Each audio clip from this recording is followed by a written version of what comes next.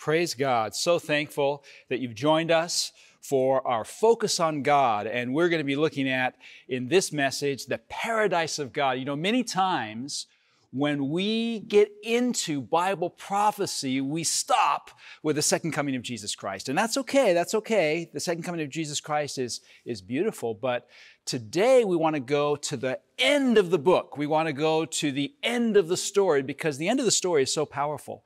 The end of the story takes us back to the beginning, if you will. In Revelation chapter 21, we find ourselves returned to where God first put us in the paradise of God. And we're going to be focusing on that for the next 50 minutes the paradise of God. My name is Pastor James Rafferty, and I'm so thankful that you've joined us. Every meeting has been powerful, and God is bringing us back to Himself and His Word. We want to just pause for a moment and just ask God's Holy Spirit to be with us now as we uh, get into this message because I believe that the Holy Spirit is going to speak to us, convict us, direct us. So let's pray. Father in heaven, I want to thank you again right now for this opportunity to open your word. I want to thank you for each listener. I want to pray that you will speak to us through this word, through your Bible, that it will touch our hearts perhaps as it never has before, that you will show us, in a sense, the end of the story that brings us back to the very beginning to the paradise of God, to the place where we were meant to be, with no pain, no suffering, with no death, no sorrow. Father, help us to get a picture, a vision of what you have for us that will motivate us. Speak to each one of our hearts, Father, through your Holy Spirit, for we ask it in Jesus' name. Amen. Revelation chapter 21 is where we're going to beginning, be beginning our message today. Revelation chapter 21 and verse 1. John sees a new heaven and a new earth, for the first heaven and the first earth have passed away. Revelation chapter 21 and verse 1. Have you ever imagined, have you ever wondered what the new heaven and the new earth is actually going to look like? Not long ago, I looked it a, um, an article, a magazine article, that was describing this indoor beach. It was called Seagaia. It was an indoor ocean beach that could hold 10,000 people at one time. And this beach was located in the country of Japan. The title of the article was Welcome to the Great Indoors. This beach was amazing. It had chirping birds that sounded. It had plastic trees that were waving. It had a piped in breeze. It had an artificial volcano that would go off every once in a while. It had vacuum pumps that created surfable waves. This beach had water that was clean and it was actually salt free. And the roof was retractable. In other words, if it was a nice day outside, you could pull the roof back and get real sunshine. But if it wasn't, you could pull the roof over and you'd still enjoy the beauty that was artificially developed here in the Seagaia complex. This uh, Seagaia complex also had temperature that was controlled. So you could get to the perfect temperature, not too hot, not too cold. They said that this was as close to the original as possible, if not better. Hmm. Now, if sitting half naked on a beach is not your idea of paradise, what about this? Saw spring, summer, autumn, winter snow. Again, this is found in the country of Japan. An indoor ski slope with 600 feet of indoor slopes that were groomed with fresh powder every night. Is this what paradise is going to be like? This perfect beach with salt free water and, and piped in breeze and, and, and these uh, uh, surfable waves or the indoor ski slope with fresh powder every night where you can ski to your heart's content. The Bible tells us actually what paradise is going to be like. The Bible says that in 1 Corinthians chapter 2 and verse 9, it says that as it is written, eye has not seen nor ear heard, nor has entered into the heart of man the things that God has prepared for those that love him. It's, it's far beyond that indoor beach with, with, with salt-free water and temperature controlled and a retractable roof. It's, it's, it's beyond anything we can imagine. It's, it's much more than that indoor ski slope groomed with fresh powder every night. What God has prepared for us hasn't even entered into the heart of man. We can't even imagine what God has for us. We can't even imagine what God has at the end of the chapter, the end of the book. But I want you to notice the next verse in 2 Corinthians chapter 2, verse 10. Because often when we read 2 Corinthians chapter 2 verse 9, we don't read it in its context and we leave out this final verse. Notice what it says, but. It starts with a but. Even though the, the eye hasn't seen it, even though the mind hasn't imagined it, even though it hasn't even entered the heart of man what God has prepared for us, but, but, it says, God has revealed them unto us through His Spirit, for the Spirit searches all things, yes, the deep things of God the Holy Spirit has actually revealed to us what paradise is going to be like. And it's going to be powerful. It's going to be beautiful because God has ordained that we would experience something that goes beyond anything we can think or imagine. And God has revealed that to us in His Word through the Holy Spirit because we're told the Holy Spirit is the author of the Word of God, the inspiration behind the Word of God. That in 2 Peter chapter 1, verse 21, it says that prophets spake as they were moved by the Holy Spirit. So even though man hasn't imagined it, man can't see it and understand it, God has revealed it to us through His Holy Spirit. And the Holy Spirit is also the author of the Word of God. We're told then that faith comes by hearing, and hearing by the Word of God. So there's a connection here between God's Word that is inspired by the Holy Spirit and the development of faith.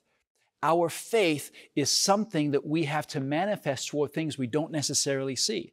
We're told in Hebrews chapter 11 and verse 1 faith is the substance of things hoped for and the evidence of things not seen. In other words, faith is something that we manifest even though we don't see it, even though we haven't imagined it. So put these things together now. What God is actually saying to us is that God has something for us in paradise that we can't imagine, we can't understand, but the Holy Spirit reveals it to us, and that Holy Spirit is the inspiration of the Word of God.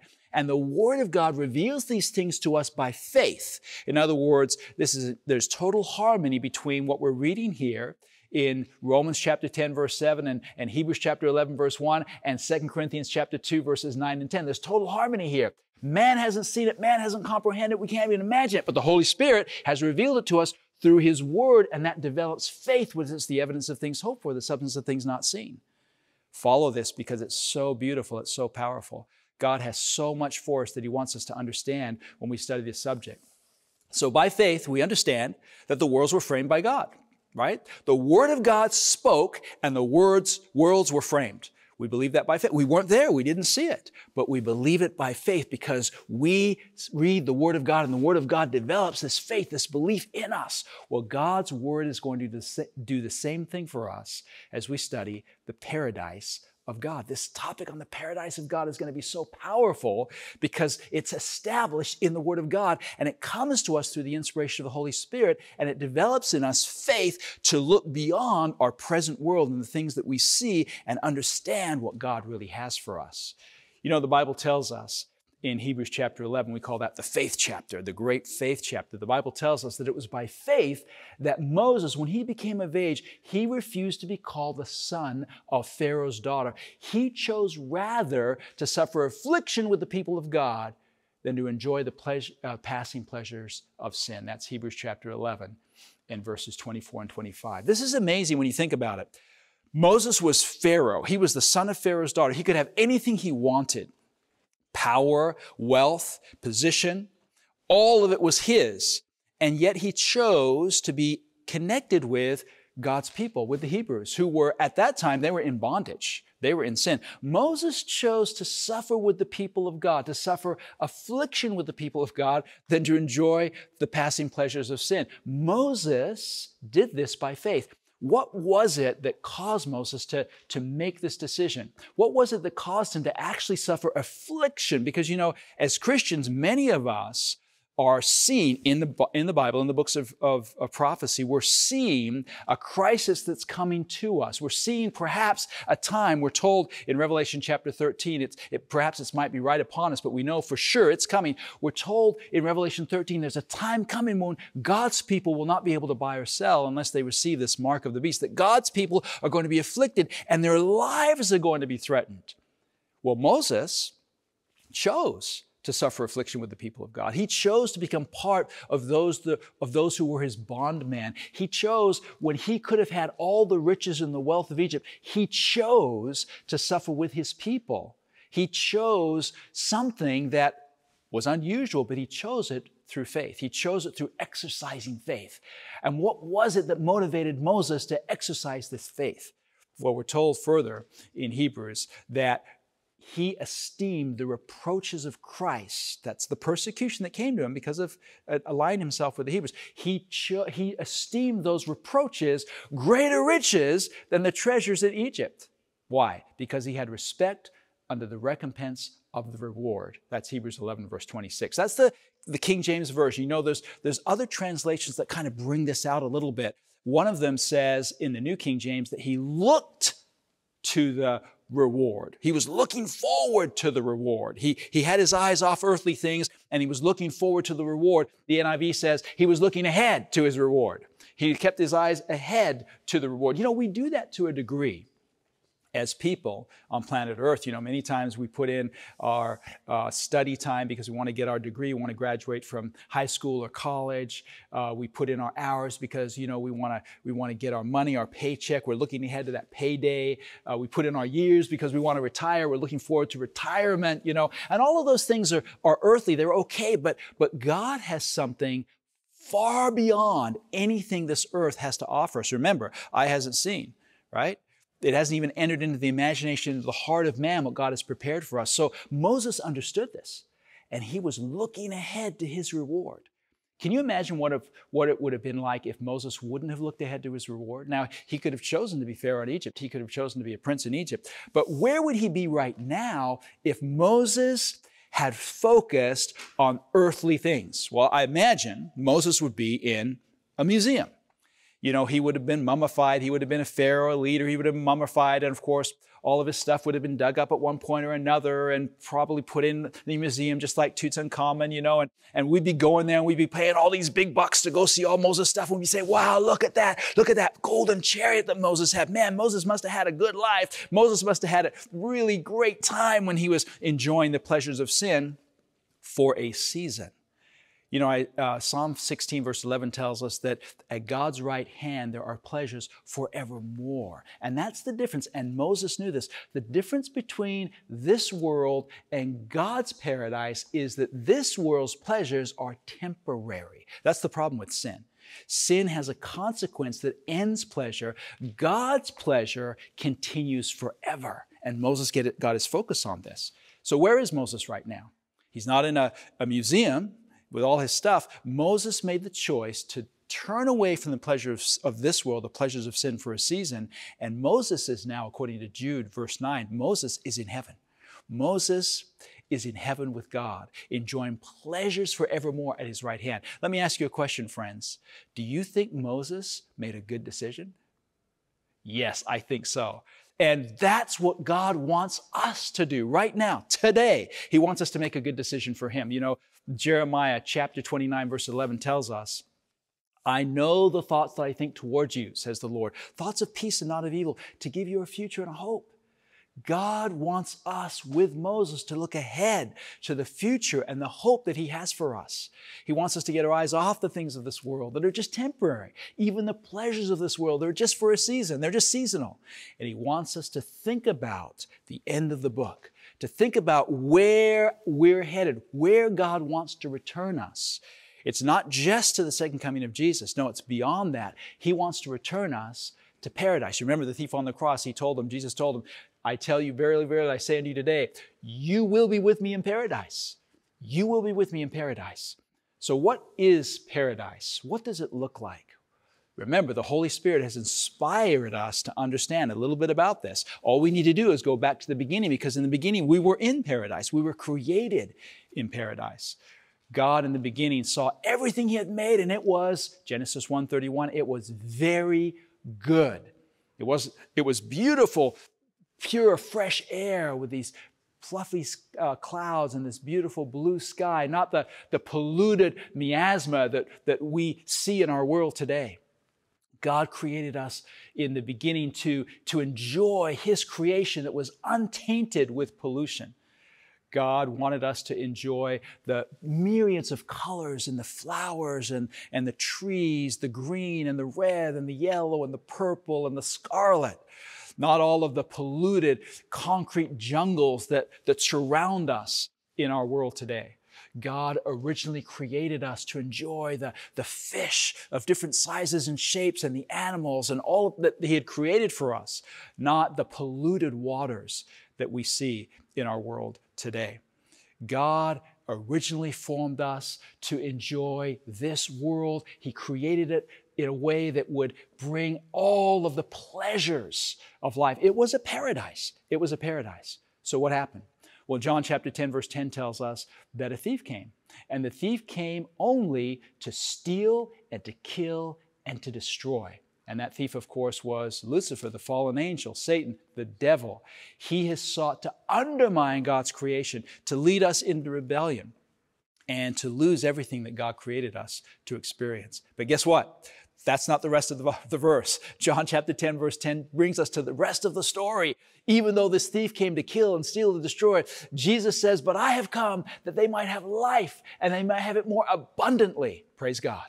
God has sent his son to redeem us. And that redemption is real. That redemption is biblical. And that redemption is what God wants for each one of us. You see, sin is just an interruption to God's plan. It's a temporary interruption to what God originally purposed for humanity. Sin has interrupted God's plan because sin has turned us away from God's original paradise. But God has promised restoration. God is going to restore us. What does this restoration look like? Well, this restoration that God has promised, the salvation from sin, comes in three parts. It's salvation from sin's guilt, and that is justification. It's salvation from sin's power, and that is sanctification. And it's salvation from sin's consequences, sin's effect, and that is glorification. And you can read about those three aspects of salvation in 1 Corinthians chapter 1 and verse 30. It's the last one we're going to focus on right now. We're told in 1 Corinthians chapter 15, one of my favorite voice, verses, verse 26, the last enemy that will be destroyed is death. A lot of times we ask the question when we lose loved ones, even when we lose uh, our pets, our, our beloved pets, animals, friends, family, those that are close to us, we ask the question why did God allow people to die? Why did God allow death? Well, God didn't actually bring death. Death is an enemy of God. God has allowed it because God is love, and, and love uh, necessitates freedom to choose. And we've chosen death. We've chosen death because we've chosen sin. And the wages of sin is death. That's our choice. And God has been a gentleman. He's given us the freedom to choose. But a day is coming when He's going to end all of this. A day is coming when He's going to destroy sin. And the last enemy that God is going to destroy is death. Praise God. There's going to be, therefore, a resurrection from the grave for those who believe in Jesus Christ. We're told in 1 Thessalonians chapter 4, verses 16 and 17. For the Lord himself shall descend from heaven with a shout, with a shout, with the voice of the archangel and with the trumpet of God, and the dead in Christ are going to rise first. Then they, we who are alive, we who remain, we who are, are, are present when Jesus comes and haven't tasted, we who are alive are going to be caught up together with them, and we're going to meet the Lord in the air, and thus will we always be with the Lord. Praise God. Praise God. That's powerful. And of course, this is a truth that's found all through the scriptures, but John focuses on it in the book of Revelation under the inspiration of the Holy Spirit. John talks about this first resurrection that's going to take place at the second coming of Jesus Christ. And then there's this thousand year millennium this thousand years where the earth is just left desolate. That's described in, in the Old Testament book of Jeremiah and Isaiah, as well as in the book of Revelation. A thousand years where we go to heaven, the righteous go to heaven, those who are part of the first resurrection go to heaven, and they there investigate the whole great controversy, the whole several thousand years, 6,000 plus years of this great controversy between sin and righteousness, between God and the devil. And all the questions are answered. And then there's a judgment that takes place during that time, a judgment that takes place relationship to the wicked. And then after the thousand years, we're told that there's going to be a second resurrection, a resurrection of damnation.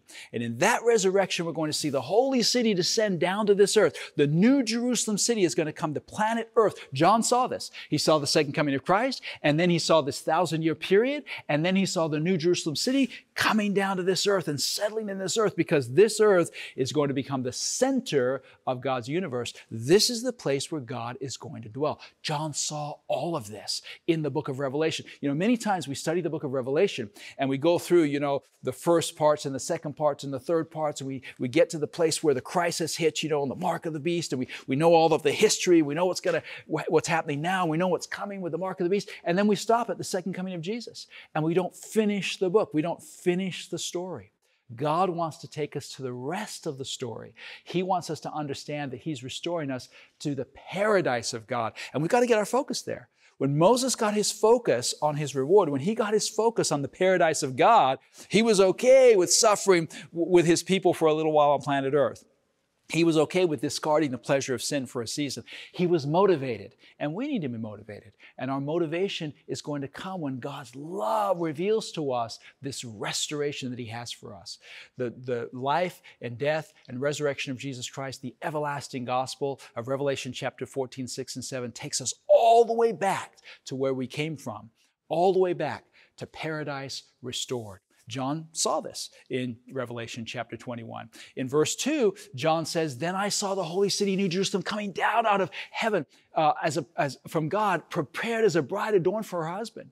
And he goes on to say this. He says, And I heard a loud voice from heaven saying, Behold, the tabernacle of God is with men, and he will dwell with them. Praise God. God is going to dwell with us. He's going to be with us. He is going to be one with us. The holy city is going to come down from heaven to this earth, and God is going to actually tabernacle with us because that was his ideal in the first place. God would come to us and tabernacle with us in the garden. That's, that's how it all started. And it says there, continuing on in Revelation chapter 21, remember, this is the rest of the story, right? This is the part we don't always look at. This is the part we leave off. It says there that God is going to wipe away every tear from our eyes. There's going to be no more uh, death, and there's going to be no more sorrow, and there's going to be no more crying, right? Because there's going to be no more pain. The former things are going to be passed away, and that's what we want to focus on. You know, right now, life is a pain especially as you're getting older. It's difficult. You know, we get back pain, we get leg pain, we get hip pain that makes us want to complain, right? But someday soon, all of that is going away. All of that is going away because God is going to restore us to the health, the vitality, to that love and that happiness and joy that He created us to experience. In fact, this world is just an opportunity for us to know, to taste a little bit of what God has for us, what God has for us. God wants us to taste heaven. And, and this is the way it works. If you've ever in your life had one opportunity, even if it was just for a few seconds or a few minutes or a few hours or maybe for, for a very long time, if you've ever in your life had an opportunity to experience pure joy, maybe it was when you got married, maybe it was when you went on that vacation, maybe it was when you got that raise or you got that, you know, diploma or that or that job or or maybe it was when you you you know got that little toy that you really wanted, whatever it was, accepting Christ as your savior. That's one of the highlights of my life. The joy that you feel, the freedom that you feel from guilt, the, the experience, the, the exhilaration that you feel in that moment. Think about that never ending. Think about that joy being permanent forever, and you have just tasted heaven. You have just tasted paradise because God wants us to experience joy forevermore, unending. This is what we see in the book of Revelation, and it's powerful, really, if you think about it. This is the picture that is not only given us in the back of Revelation, but it's given us all through the Bible. If we go to the Old Testament, we're going to find all of these paradise promises. For example, Isaiah chapter 33, verse 24 says, And the inhabitants shall not say, I am sick. Sorry, physicians, you're out of a job in heaven. You're no longer needed. Praise the Lord, you can play golf all the time. No more sickness in heaven. What else? We read in Isaiah chapter 35, verse 5, it says, And then the eyes of the blind shall be opened. Optometrists, you're out of a job also. There's no more glasses, no more contacts, there's no more LASIK surgery in heaven. Everyone's going to see 100%. And then it says in Isaiah 35, verse 5, the ears of the deaf shall be unstopped. Hearing aids, thing of the past. No more, uh, could you repeat that? I didn't quite hear it, right? We're going to have perfect hearing. We're going to have perfect seeing. We're going to have perfect health in heaven. We're going to, the lame will leap like a deer. There's not going to be any more wheelchairs, any more crutches, any more walking sticks.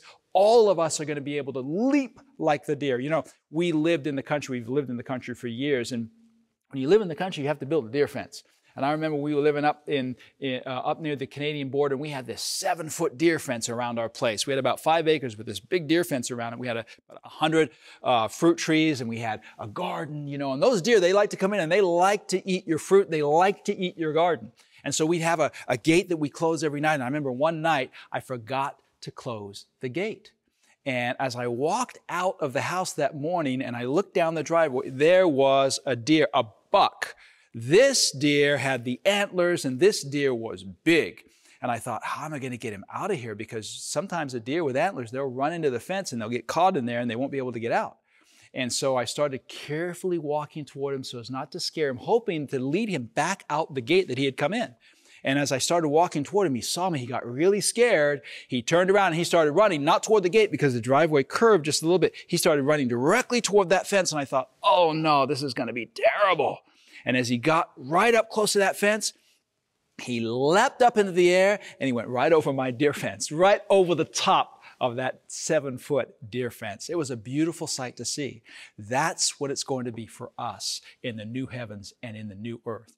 We're told that the, the tongue of the dumb will sing. In other words, there's going to be no more uh, deaf and dumb people there, we are going to be able to sing. And, I, and I'm looking forward to it from this perspective that I want to be able to sing like John Lomacang. I want to be able to sing like Tim Parton. I want to be able to sing like the best of them. I want to be a, a, singer in Israel uh, like my, my brother Ryan Day. I want to be able to have a voice because right now I can't really carry a tune. Don't tell anyone that. That's a secret between me and you. But uh, in heaven, we're going to be able to praise God for all eternity.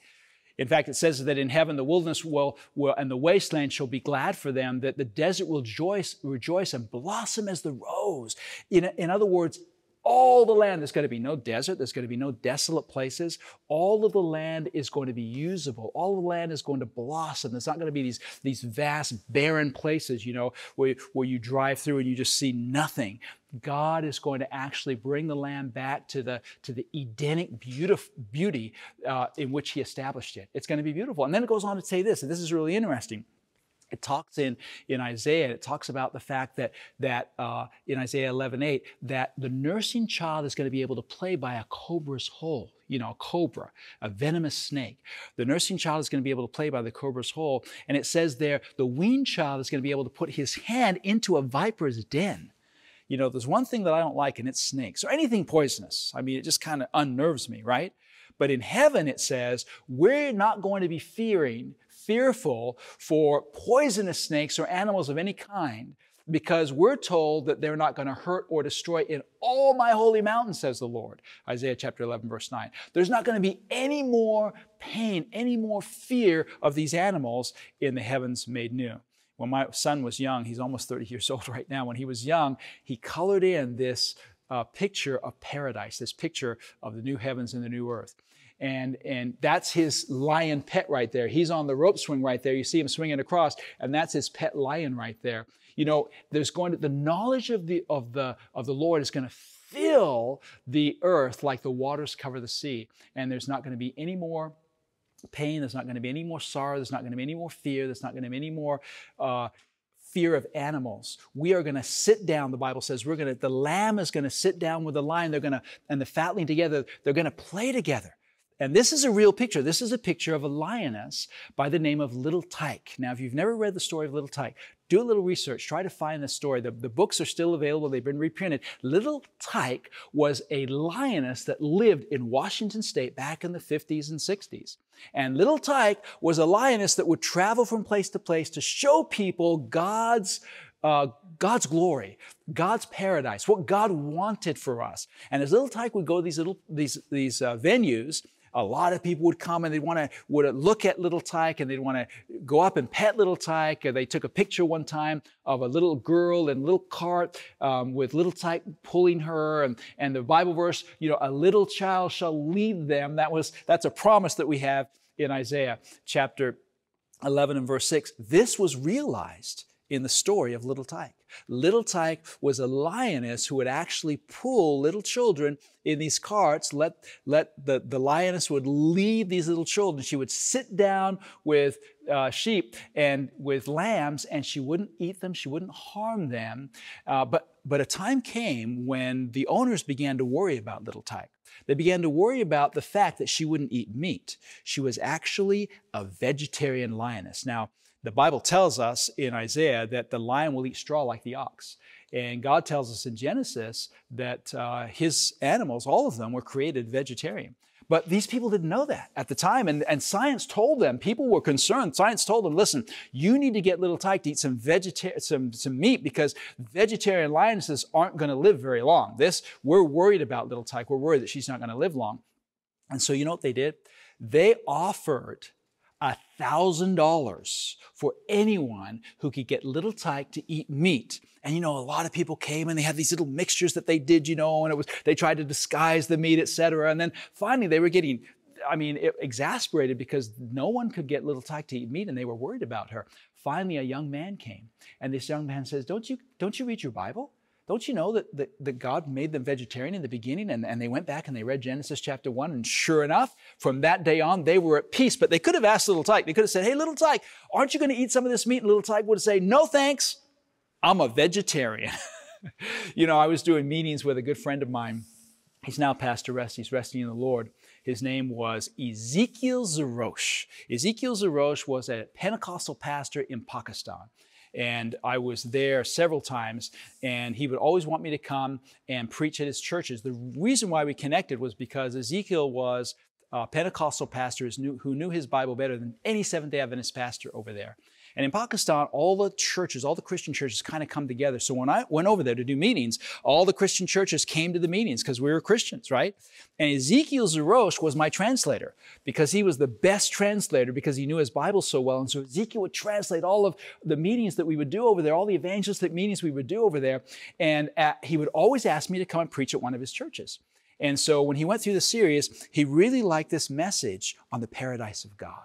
And so he would ask me, whenever I went over there, he had 120 churches under him. Whenever I went over there, he would have me preach at another church. And he would say, James, I want you to preach on the paradise of God. I said, but I already preached on that. He said, no, I want you to preach on the paradise of God in this church. You've never preached in this church on the paradise of God. I want my members to hear this message on the paradise of God. And so I would preach that message on the paradise of God. And I would, come to this section you know, about little tyke and, and talk about how they offered $1,000 for anyone who get little tyke to eat meat, you know, and how we're not going to be fair to the animals because they're not going to want to eat us in heaven, you know, because God made them originally be vegetarians. And when we return paradise, we're going to return to God's original purpose. And so I said, I'm just preparing ahead of time by being a vegetarian now. I'm just preparing ahead of time for paradise. And one evening we went to this, this grand feast. It was 11 o'clock at night. I can't eat usually that late, but I was told, hey, they're doing this for you. It was an outdoor event. The host, uh, uh, the owner of the place, you know, was serving me, and they had this long table. We all sat there. They had me sitting at the head of the table, and Ezekiel was next to me, and the conference president was to my left and they had all this all this food in front of me and right my immediate presence right the food right in front of me oh with a chicken dish and a fish dish and just these meat dishes you know and and we had prayer and ezekiel said to me you know go ahead go ahead and eat. And of course i was in a position where i was afraid to offend and i said to ezekiel i said but but you know i'm a vegetarian. And ezekiel smiled and he said I would give a $1,000 for anyone that could get James to eat meat. And then the host went to the end of the table and brought the, brought the vegetarian dishes down to the other end of the table where I was sitting. It was a little bit of a test, but it was so funny to think that Ezekiel had referred to little tyke and this message of God's paradise restored. So Ezekiel Zerosh is resting in the Lord right now. He's going to resting for the resurrection of Jesus Christ. And someday when that trump sounds, we're going to meet in the air and we're going to reminisce on all those old times together. So little Tyke would travel from place to place. And one time he came to this place where there were a lot of children and, and a young kid ran up to little Tyke and threw himself down in front of little Tyke and, and he looked into little Tyke's eyes and little Tyke was looking into his eyes and he said to little Tyke, he said, I'd rather have you than a dog. And then as they were listening there, the people around them were listening there, the boy got a little bit closer to little Tyke, a little bit closer to his, his nose, and, and little Tyke was intently looking at him. And, and, and then he said, Little Tyke, I'd rather have you than a dozen dogs. And then, as the story goes, the little boy put his nose right up to little Tyke's nose, nose to nose, eye to eye, and little boy said, Little Tyke, I'd rather have you than a million dogs. We were made to connect with the animals. Now, sin has caused separation, but God wants to restore us back to that connectivity. He wants to restore us back to the animals that were created for our pleasure. And we see, at times, we see pictures of this in our world today. These pictures are of, of a gamekeeper in Africa who feeds these animals, these lions and these tigers and, and other animals. He feeds them and he's become their friend and he hangs out with them and he, he rubs their bellies and, and he, he wrestles with them and, and he enjoys their company. They nuzzle together and, and at times, you know, he's, he's grabbing them from behind and, and they're completely tame. They do him no harm whatsoever. There are times when he, he gets in the water with them. He enjoys, you know, uh, even uh, the, the, the scariest of animals. he enjoys cuddling with them, animals that we would think, oh, I don't want to be even close to that. And God has restored him to the paradise of God in a sense because he's restored him, he's reconnected him with these animals that we were supposed to be connected with from the very beginning. Isn't it going to be amazing? I can't wait to give a bear a genuine bear hug. I can't wait to be reconnected with all of God's creation without any kind of fear of being eaten or consumed. I can't wait till the leopard doesn't chase uh, its prey to eat it, but it chases its prey simply to say, Hey, how are you doing? It's good to see you. When the leopard licks the neck of its prey instead of chewing the neck of its prey, and its prey returns the favor. I can't wait until we are restored to the paradise of God. The Bible tells us, they shall not hurt nor destroy in all my holy mountain. Isaiah 11 and verse 9. Have you ever thought about this? God's holy mountain. You know, Daniel chapter 12, verse 3, the very last verse, prophetic verse in the book of Daniel, before Daniel is given instruction as to what to do with his book in verses 4 through 13 of Daniel 12. The very last prophetic verse says, They that be wise shall shine as the brightness of the firmament, and they that turn many to righteousness as the stars forever and ever. Have you ever thought about that? Forever and ever. You know, sometimes living on this earth causes us to feel like we don't want to live forever and ever because there's so much pain and sorrow and crying, but all that's going to be done away. And we are actually going to live forever and ever. You know, I'm almost three score years old. That's 60 years old. I was born in 1962. But one day, I'm going to be 1,060 years old. And then I'm going to be 1 million and 60 years old. And then I'm going to be 1 billion and 60 years old. And then I'm going to be 1 trillion and 60 years old. And then I'm going to be 1 quadrillion and 60 years old. And by the time I'm a quadrillion and 60 years old, and, and you maybe you're a quadrillion 20 years old, you know, we're going to be about the same age. I mean, you know, what's a couple decades when you're a quadrillion years old? But then it doesn't stop there. I'm going to be one quintillion and 60 years old. And then I'm going to be one sextillion and 60 years old. And then I'm going to be one septillion and 60 years old. You know what comes after a septillion? Then I'm going to be one octillion and 60 years old. And then I'm going to be one nonillion and 60 years old. And there's more. I'm going to then be one decillion and 60 years old. And after a decillion and 60 years of age, there comes the number Googolplex. it's the largest number that we know. And I guess it's called Googolplex because this number Googles the brain. Someday I'm going to be a Googolplex and 60 years old. And when I get to be a Googolplex and 60 years old, eternity will just be beginning. Soon, very soon, I'm going to be eternity and 60 years old. Can you imagine being eternity and 60 years old? God wants us to imagine this God wants us to get our minds and our hearts on this. He wants us to look forward to what He has for us. He wants us to look forward to our reward. And this is why the Bible tells us in James chapter 4, verse 14, what is your life on this earth? What is your life? Is it isn't it even a vapor that appears for a little while and then vanishes away? I love the way that the NIV translate this. It says, You are a mist that appears for a little while and then vanishes. Let me illustrate it this way, right? Here's a spray bottle. Here's a mist. That's your life. Now you see it and now you don't. You're a mist. You're a vapor there's me, there's my wife, there's my kids. They're a little younger than me, but so, so me and my wife started first and my kids came after us, but we're all just a vapor. We were born, we go to school, we graduate, we get a job, we get married, we do whatever, and by the time we're ready to retire, it's like it was nothing. It seems like just yesterday that I was a young man. My life is a vapor. Your life is a vapor. It's vapor life. The Bible is trying to clarify for us the difference between the life we have now and eternity. Our life right now is just a vapor. It's just a temporary intervention between our creation, the paradise that we were created to experience, and paradise restored. It's just a temporary pause, an interruption in God's plan. And that's why we're told in Bible prophecy, 2 Peter chapter 3, specifically verse 8, that there's something we should not fail to forget. It says, My, but beloved, and this is in the context of people who are, who are naysaying the second coming of Oh, ever since the fathers fell asleep, all things continue as they were. Yeah, we've heard the promises. We've heard all of this stuff, you know. And Peter responds and he says, whenever you think about how long it seems before the second coming of Jesus, how long it seems to have taken for Jesus to return to fulfill his promises, you know, I'm going to prepare a place for you, and if I go, I'm coming again. I'm coming again. I'm returning because I want you to be with me where I am. When you hear people naysaying that and, well, you know, I, my parents believe that and my grandparents believe that and I never even thought I would get in through college and here we are, we're still here. When you hear that, Peter says you need to remember one thing.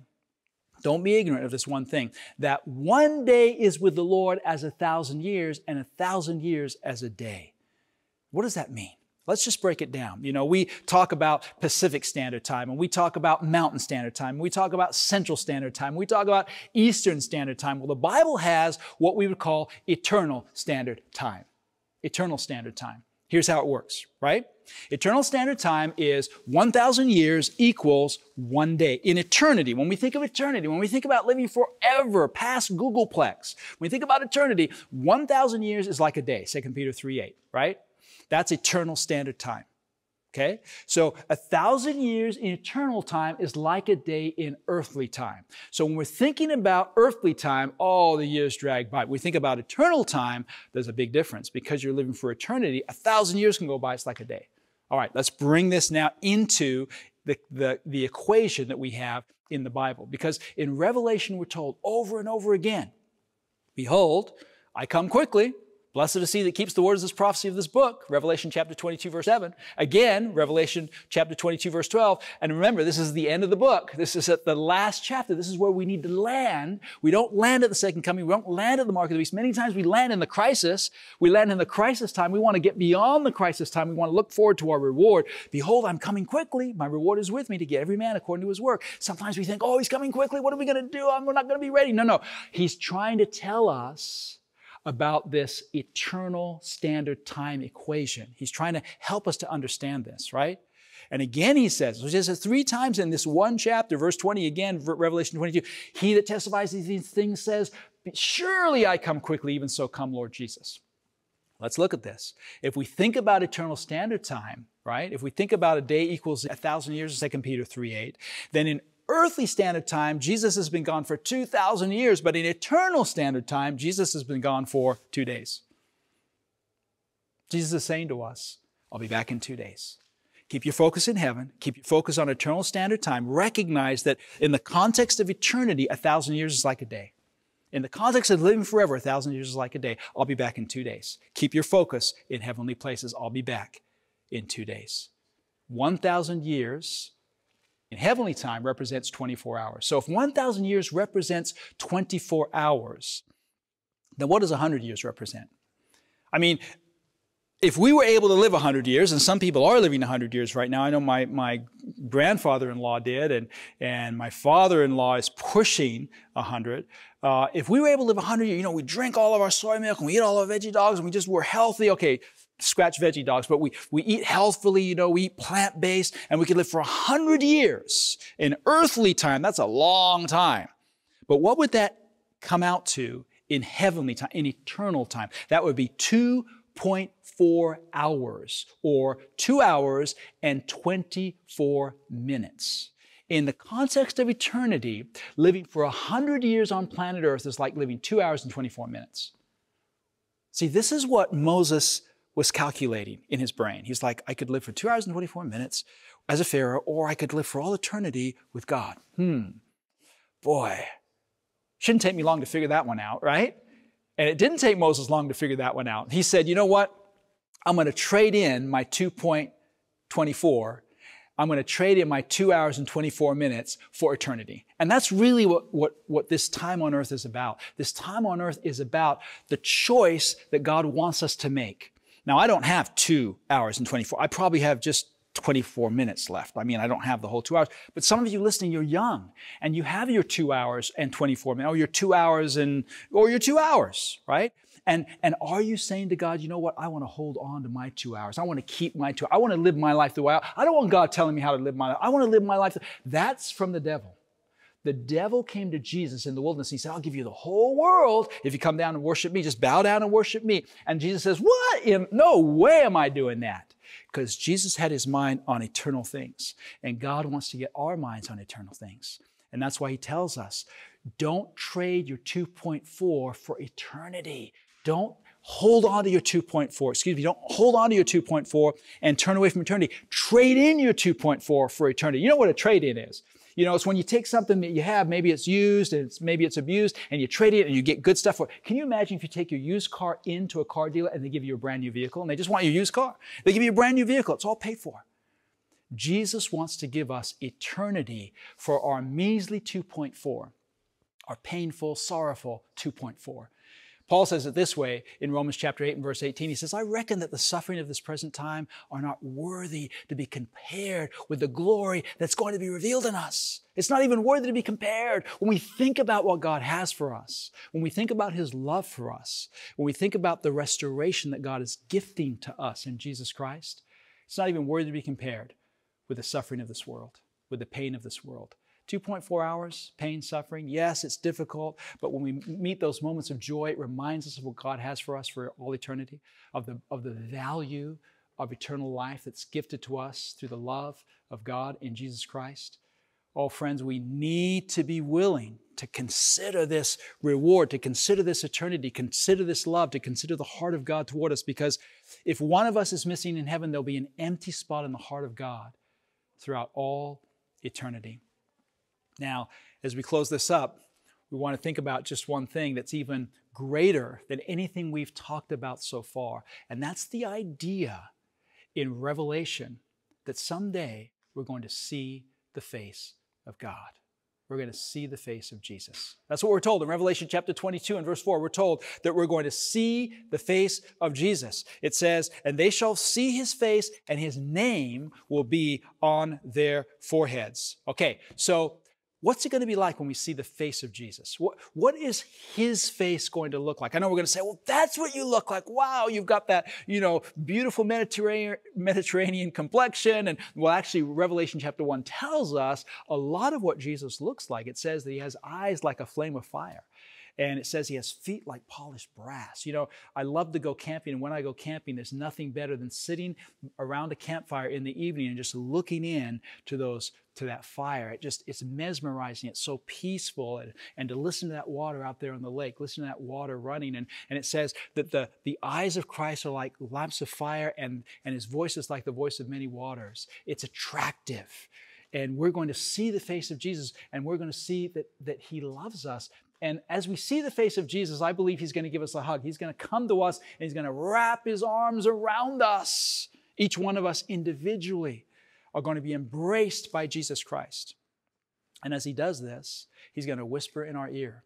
He's going to be holding on to us. You know how you hugs people sometimes and you get the feeling they don't want to let go? I don't know. You have that precious moment, that special moment where you're just holding on. You know, you're sharing a moment. There's something between you and you're just holding on. We're going to have this moment with Jesus where He's just going to hold us. He's going to wrap His arms around us and He's not wanting, going to want to let go of us. You know, we're going to kind of think, oh, maybe it's time. And Jesus is like, I'm holding on to you.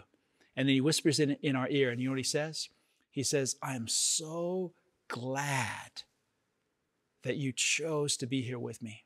I'm so glad that you responded to my love. I'm so glad that you are here in heaven. He's going to hold on to us. We think that being in heaven is going to be a joy for us.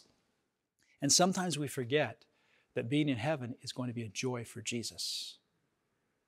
Isaiah 53 says that he went through all the pain and suffering, not just physical, but mental anguish. He gave his soul over to death because he looked, it says, he would see the, the, the reward and he would be satisfied. In fact, in Hebrews chapter 12, it says that in verse 3, it says that, that he was focused on this reward, and that's what caused him to despise the shame. He just despised the shame. There's no shame here because I'm looking at the reward. I'm looking at you. He's looking at us, friends, each one of us. And he knows that all that he's gone through in his life as a human being was well worth it. And He wants us to know that all we have to go, anything we have to go through, is going to be well worth it. He wants us to be there more than we want to be there. He wants us to be there. The Father wants us to be there. The Holy Spirit wants us to be there. And He reminds us of this in Bible prophecy. A lot of times we think, oh, Bible prophecy, that's all about, you know, the end of the world and everything's going to end and, you know, Jesus is going to come and everything's going to be destroyed. Bible prophecy, every single Bible prophecy from Daniel to Revelation, every single cycle, every single uh, cyclical uh, event that's revealed there in the image and the beasts and, and the kings of the north and the kings of the south and the churches and the seals and the trumpets, every one of them, even the vials, all of them end in the paradise of God, right? When you go to Daniel chapter 2, you have these images, these powers, these ten horns, and then you have, you have this great stone that's cut out of the mountain without hands and it hits the image of the feet and it becomes a great mountain and fills the whole earth. That's the paradise of God. In Daniel chapter 7, you have the time when the saints are given the kingdom, when they inherit the kingdom. In, in Daniel chapter 11, you have this, this time when Michael stands up and delivers his people, and, and they that shine as the brightness of the stars, they that are righteous will shine as the brightness of the stars forever, stars forever and ever. In Revelation chapter 7, each church is promised something that points them to paradise. And, and the last church is told, You're going to sit with me on my throne in paradise. In Revelation chapter 7, that's the churches, the seals. It ends in Revelation chapter 7, in verse 17, with God leading us beside the living fountains of waters and wiping away all tears from our eyes. Revelation chapter uh, 11, that the trumpets ends with God's people Christ establishing his kingdom. In Revelation, of course, chapter 21, we have Jesus Christ and God himself dwelling with us, the New Jerusalem temple coming down and establishing itself on planet Earth. And there's only one thing that's left in the prophecies of Revelation when we get to the very end, and that is this invitation. And it's an invitation that I'm extending to you in behalf of heaven right now. This invitation to come. The Spirit, the Holy Spirit says, Come. The bride says, Come everything, everything in heaven, all heaven is pouring out. All heaven is saying, Come, come, accept of the gift of salvation in Jesus Christ.